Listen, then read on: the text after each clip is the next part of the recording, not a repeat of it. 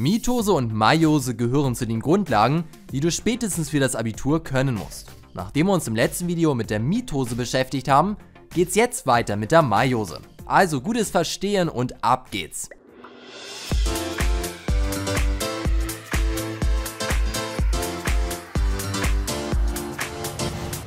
Um herauszufinden, wie Keimzellen, auch Gameten genannt, das heißt weibliche Eizellen und männliche Spermien entstehen, muss man sich den Vorgang der Meiose anschauen. Das Ziel der Meiose ist die Bildung von vier haploiden Tochterzellen aus einer diploiden Mutterzelle. Als Haploid wird ein einfacher und als Diploid ein doppelter Chromosomsatz bezeichnet. Jede normale Zelle des Körpers hat einen diploiden Chromosomsatz, nur die Keimzellen haben einen haploiden, da sie später während der Befruchtung miteinander verschmelzen und gemeinsam einen diploiden Chromosomsatz bilden. Die Meiose wird in zwei meiotische Teilungen unterteilt. Bei der ersten meiotischen Teilung werden die homologen Chromosomen voneinander getrennt. Homologe Chromosomen sind Chromosomen, die die gleiche Gestalt und die gleiche Aufgabe haben. Jeweils eins kommt von der Mutter und eins vom Vater. Die erste meiotische Teilung besteht aus der Prophase 1, der Metaphase 1, der Anaphase 1 und der Telophase 1, aber keine Panik, wir gehen das jetzt alles Stück für Stück durch.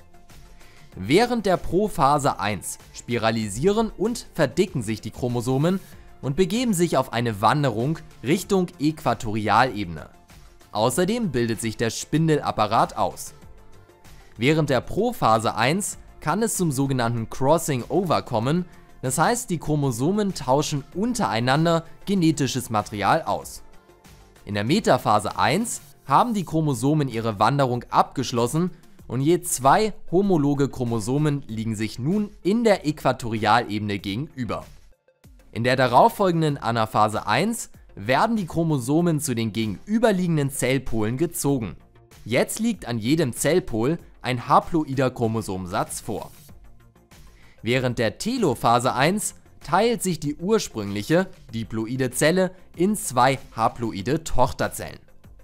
Zwischen erster und zweiter meiotischer Teilung liegt eine kurze Interphase, in der die Zelle wächst. Im Gegensatz zur normalen Interphase, also der Interphase zwischen zwei Mitosen, wird die DNA nicht repliziert.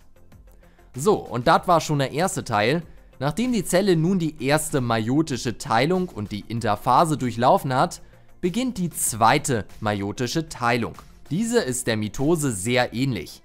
Sie besteht logischerweise aus Prophase 2, Metaphase 2, Anaphase 2 und Telophase 2. Genauer gesagt, durchlaufen die beiden entstandenen haploiden Tochterzellen die zweite Teilung. Der Einfachheit halber reden wir hier nur von einer Zelle. Die zweite meiotische Teilung beginnt mit der Prophase 2, während der sich die Chromosomen gewohnt spiralisieren und sich der Spindelapparat bildet. In der nächsten Phase, der Metaphase 2, ordnen sich die Chromosomen in der Äquatorialebene an, so wie bei der Mitose. Während der Anaphase 2 werden die Schwesterchromatiden der Chromosomen getrennt und vom Spindelapparat zu den Zellpolen gezogen. Und dann sind wir auch schon bei der letzten Phase, nämlich der Telophase 2.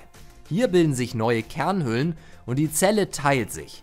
Da das ja alles, kurz zur Erinnerung, mit zwei Zellen passiert, haben wir also insgesamt nun vier haploide Tochterzellen, die aus einer diploiden Mutterzelle entstanden sind. Wenn wir jetzt noch einen Schritt weiter gehen zur Befruchtung, verschmelzen zwei haploide Keimzellen, also Eizelle und Spermium, zusammen zu einer diploiden Zelle, aus der sich dann ein neues Individuum entwickeln kann. Im ersten Moment klingt Mitose und Meiose extrem kompliziert, Vielleicht konnten wir dir mit unseren beiden Videos aber etwas helfen. Wenn ja, dann teile das Video gerne, Daumen hoch und schau in unsere Genetik-Playlist. In dem Sinne, bis bald, mach's gut und ciao.